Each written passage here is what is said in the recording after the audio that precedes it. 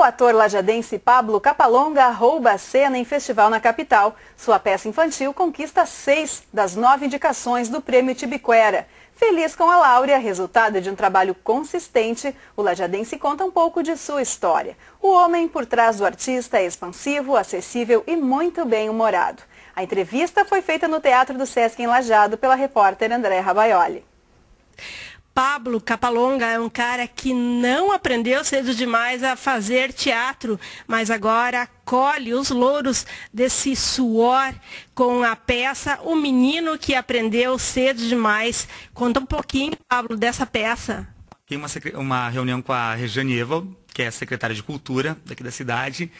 E assim, eu devo muito a Rejane, uma, uma querida amiga minha, e disse para ela assim, Rejane, Uh, eu tenho uma, um espetáculo que é assim, assim, assim, assim. Ele, ele valoriza o conhecimento, valoriza a educação. É a história de um menino que se faz através do conhecimento. Tu não quer comprar esse espetáculo para as crianças daqui da cidade? Ela disse, ah, eu me interesso. Eu disse assim, então tá, que bom. Então agora tu compra e agora eu vou montar porque eu não tenho esse espetáculo ainda, ele não existe. Já que tu vai comprar, eu monto ele. E foi assim que nasceu o espetáculo. Então, assim, ó, eu devo muito à, à dona Rejane, que comprou esse espetáculo no escuro, sem conhecer, né, acreditando nele. E eu acho que ela fez um, um, teve um bom crédito assim desse trabalho. Agora, o que, que o Pablo aprendeu cedo demais. Com certeza não foi o teatro, que tu ingressou no teatro com 25 anos. É. O que, que tu aprendeu cedo demais? Eu acho que assim, não sei se eu aprendi, mas eu tomei conhecimento, eu tomei contato cedo demais com, com todas as artes. Né? Então, desde pequenininho, assim, eu tomei contato com a música, sempre fui estimulado pelos meus pais a, a aprender a tocar. Então, fazia aula de violão desde os sete anos e cantava, ia muito a cinema e sempre tive contato muito com livro. Uh, também brincava como outras crianças qual, qualquer, assim, mas esse contato com a arte... Uh, eu não sei porquê, assim, mas sempre, eu acho que já tinha uma preferência minha, assim, por essa coisa mais lúdica, pelo circo. Não podia ter um circo aqui em Lajado, que eu já, já me antenava, já ia lá pedir uns trocos pro pai pra mãe para poder ir no circo cada ator assim tem uma tem coisas incomuns para todos os atores, né? Então, o que é o palco para qualquer ator? Ah, é um caminho de expressão, é um, é um espaço de expressão, um espaço de, de, de criação, de criatividade, de libertação mesmo. Né? Tem coisas, como eu tinha te dito, assim, que a gente só faz no palco, não vai fazer nunca fora do palco, até porque senão a gente ia ser chamado de insano, de louco. Mas uh, ah, para mim, assim, particularmente, o, o, palco assim é um espaço muito especial, né? É um espaço onde a gente realmente pode uh, interagir com a plateia e fazer com que eles prestem atenção, com que eles ouçam e percebam coisas que talvez fora do palco eles não perceberiam. Então, quando tem um grupo de pessoas sentadas na tua frente, te escutando, assim, o, o recado que tu vai dar para eles, ele, ele é preciso. Né? Pode ser que a pessoa esteja muitas vezes assim cheia de problemas, mas ela para. E mesmo que ela não estiver, assim, uma grande parcela da, da plateia tu pega. E aquilo que tu quer dizer vai chegar lá dentro. Né? Então, assim, é um espaço muito especial o palco para mim. Agora, gente, apesar desse desembaraço todo, ele jura que não é extrovertido. Como é que é isso, Pablo? Não é que eu não seja extrovertido, eu acho que eu sou extrovertido assim na, na medida do, do necessário. Acho que até eu poderia ser mais solto para algumas coisas, para algumas coisas sou bem trancado, sim. E, uh, e essa história de que o, o, palco faz com que a gente realmente se despudore na frente de todo mundo é real. Aqui a gente realmente faz muitas coisas que não faria fora do palco. Uh, por quê? Porque aqui a gente se sente meio protegido. Né? O que, que nos protege? O texto nos protege, o ator nos protege, o cenário, a luz, tudo nos protege. Né?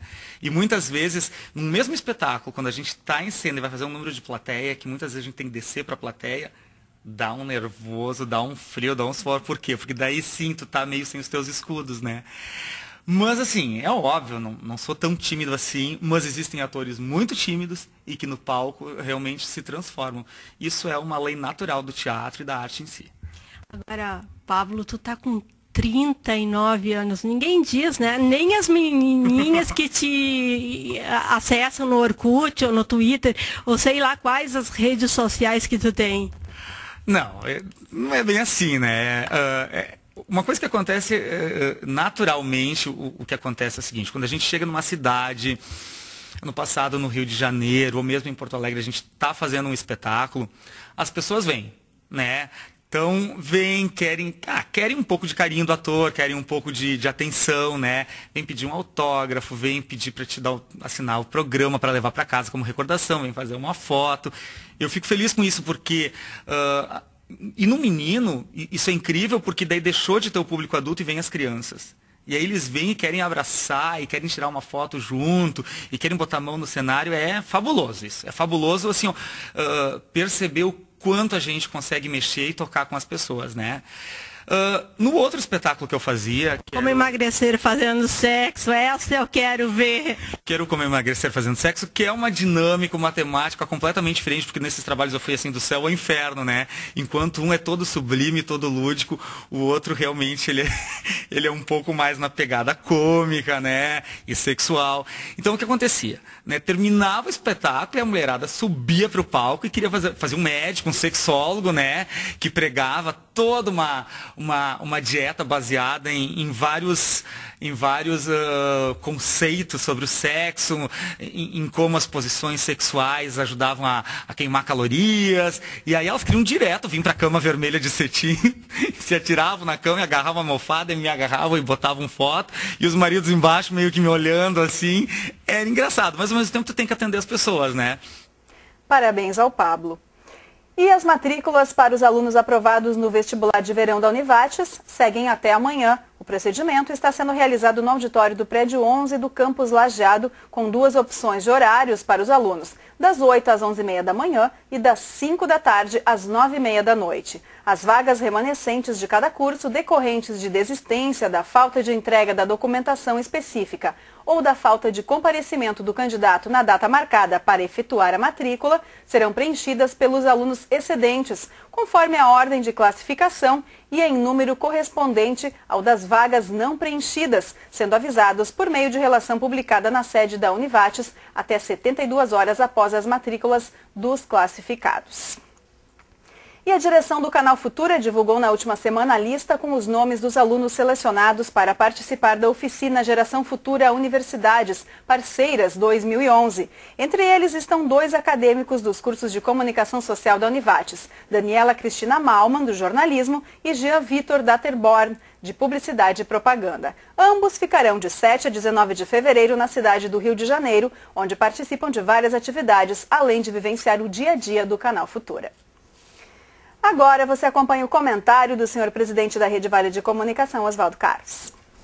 Hoje à noite estou tendo meu último contato este ano com os que tiveram a paciência e deram a honra de ouvirem meus comentários durante este ano de 2010. Sempre busquei levá-los aos telespectadores com a sinceridade que tem pautado minha vida que pode não ter sido, mas que esforcei muito para fazer o melhor possível. Todos nós vivemos bons e maus momentos. Isso é a vida. Mas essa mesma vida pode receber nossa colaboração para nos dar o máximo de satisfação possível. Finalmente somos filhos de Deus. A grande maioria pensa assim não importando de que modo acreditarem de como é esse Deus. Porque existe, segundo o dito popular, duas maneiras de viver, com medo ou com fé. Eu tenho uma maneira toda minha de sentir Deus. Para mim, nós temos forças que nos mandam eh, explicações da maneira como nós nos devemos conduzir. E para nos ajudar, e esse conjunto me fazem acreditar na existência do Supremo Arquiteto do Universo, que tudo fez. E em tudo fazendo, podemos viver nesse pedaço de mundo com o privilégio de estarmos no estágio máximo da vida. Assim, pensando, nossos poderes são imensos e só saber usá-los, isso é que é preciso. Tratar como num tempo tão pequeno, é impossível tratar de um assunto tão sério. Mas começar é fácil.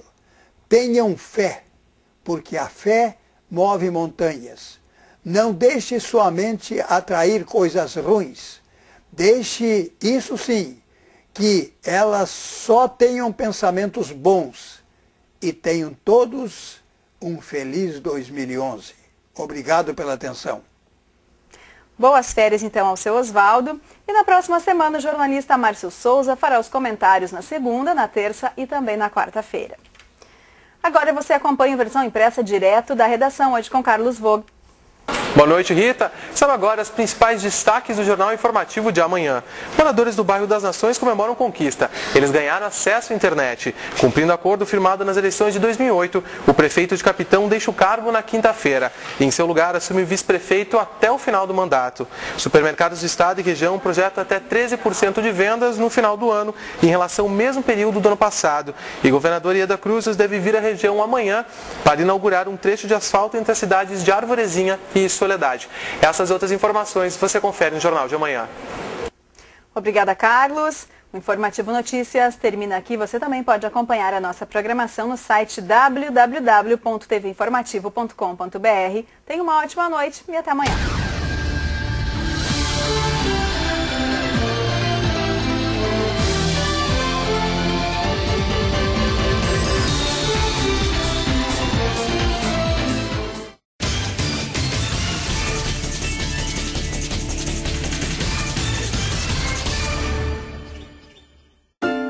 Precisa-se.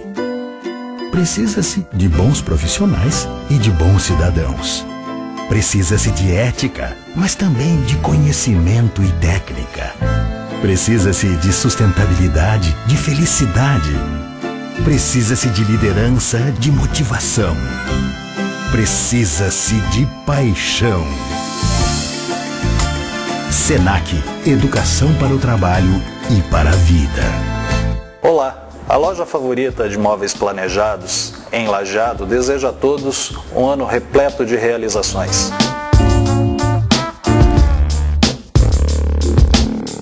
E se seu desejo é ter os ambientes da sua casa com móveis de qualidade, venha até a Favorita, estamos prontos para atendê-lo.